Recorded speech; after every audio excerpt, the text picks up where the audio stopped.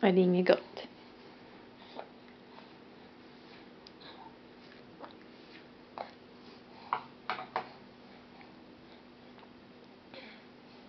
Hej Tokan.